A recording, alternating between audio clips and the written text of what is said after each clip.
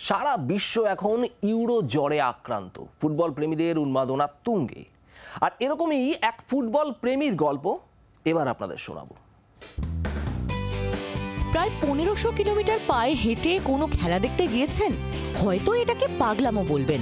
কিন্তু এই পাগলামো বাস্তবে করে দেখিয়েছেন ক্রেইগ ফার্গুসন। ফুটবল পাগল ক্রেইগ স্কটল্যান্ডের বাসিন্দা। ইউরো কাপ দেখবেন বলে হাজির জার্মান শহর মিউনিখে। কিন্তু ক্রেইগ ফ্লাইটে বা ট্রেনে নয়, স্কটল্যান্ডের শহর গ্লাসগো থেকে পায়ে হেঁটে জার্মানিতে এসেছেন।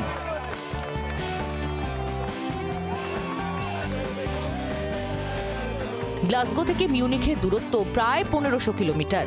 মিউনিক পৌঁছতে ক্রেগের লেগেছে একচল্লিশ দিন।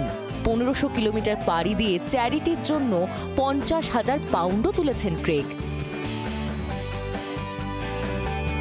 মিউনিখে ঢুকতেই ক্রেগকে ঘিরে উন্মাদনা তুঙ্গে স্কটিশ ফুটবল প্রেমীদের। দেশের বীরের মতো স্বাগত জানানো হলো ক্রেগকে তার এক ঝলক পাওয়ার জন্য মিউনিখে তখন উপছে পড়া ভিড়। পড়ে যায় সেলফি নেওয়ার হুড়োহুড়ি। ব্যুরো রিপোর্ট, জি চব্বিশ ঘণ্টা। বাংলার আওয়াজ, বাঙালির আবেগ। জি চব্বিশ ঘণ্টা।